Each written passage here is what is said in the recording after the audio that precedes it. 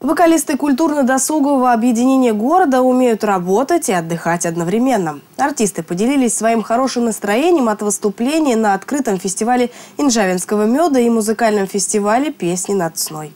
Песни над сной стал одним из любимых музыкальных праздников для Тамбовщины. Ежегодно он собирает тысячи гостей и много интересных и знаменитых артистов. И если на сцене выступают таланты с мировой известностью, то местная самодеятельность голосит из любых уголков набережной улицы и даже с поверхности реки Цны.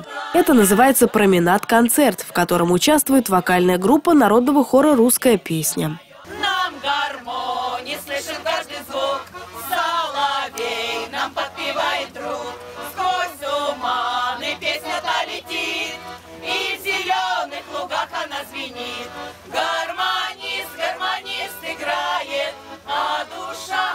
Душа, страдает.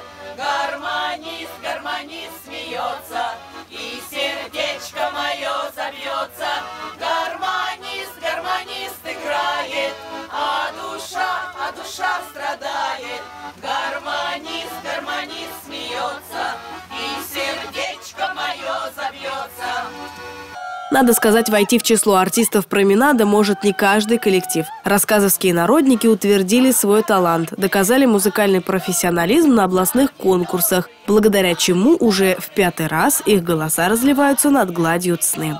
День был плодотворным, еще русская песня выступала на открытом фестивале инжавинского меда, откуда привезли диплом и благодарственное письмо. Фестивали в районах области войдут в разряд событийных праздников. Впереди еще Петровский район и плодово-ягодный фестиваль.